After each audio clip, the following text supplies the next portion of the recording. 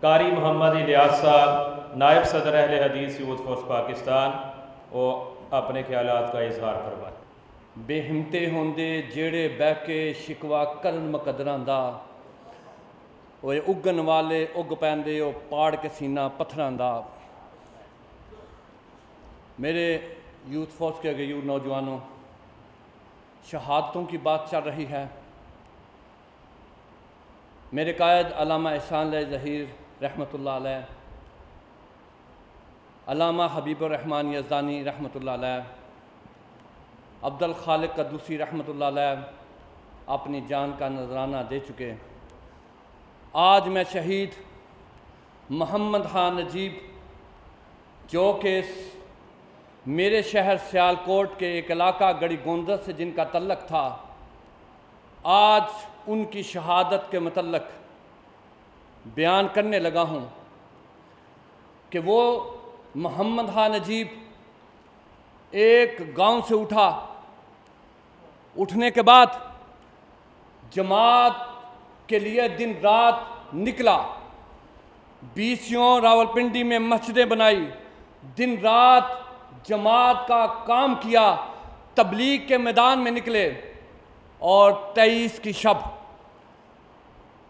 جب جامع شہادت نوش کیا، جب شام شہادت نوش کیا، تو مجھے موقع ملا چند دن قبل۔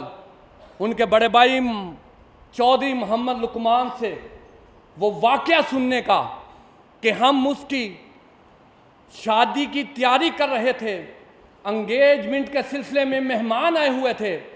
اچانک تیئیس کے دن پیغام آیا شہید علامہ احسان علیہ ظہیر کا پیغام آیا کہ فوری طور پر لاہور پہنچو، سارے کاموں کو چھوڑا۔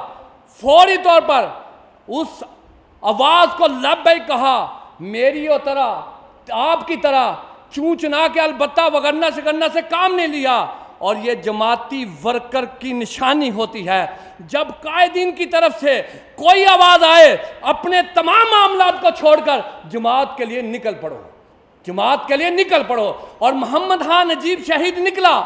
اور جب علل صبح چودھری لکمان صاحب بتاتے ہیں، جب ہمیں پتا چلا کہ مجھے کال آئی کہ میرا بھائی محمد خان نجیب شہید رات کا شہید ہو چکا، تو میں نے اپنے والدین کو بتلایا کہ انتہائی وہ ایکسیڈنٹ میں زخمی ہے۔ تو چلے ہمارے ساتھ۔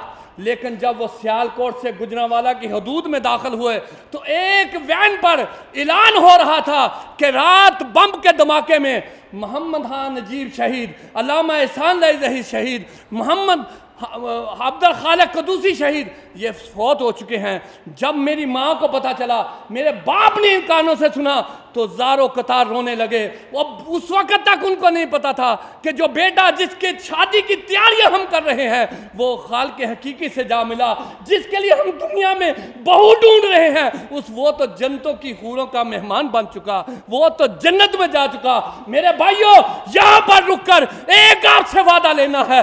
وعدہ یہ ہے کہ ہاتھ کھڑا کر کے وعدہ کرو۔ جب بھی تمہیں جماعت کی طرف سے کوئی بھی حکم آئے، کوئی بھی اعلان ہو سارے کے سارے نکلو گے۔ ساجن میر کے حکم پہ نکلو گے۔ اتنی کم آواز میں تم نے کیا نکلا؟ بلند آواز سے بتاؤ، نکلو گے انشاءاللہ۔ کھڑے ہو کے بتاؤ، مجھے نکلو گے۔ اب فیصل افضل شیخ آواز دے گا۔ کھڑے ہو کر سارے کے سارے ہاتھ کھڑے کر کے بتلاؤ۔ فیصل شیخ جب تم کو آواز دے گا، نکلو گے۔ عامر صدیقی آواز دے گا، نکلو گے۔ انشاءاللہ خون کا نظرانہ دینے کے لیے نکلیں گے اور یہ ہاتھ بلند کر کے یہ سارے کے سارے وعدہ کرتے ہیں۔ انشاءاللہ اپنے خون کا آخری قطرہ تک جماعت کے لیے بہانے کے لیے تیار ہیں۔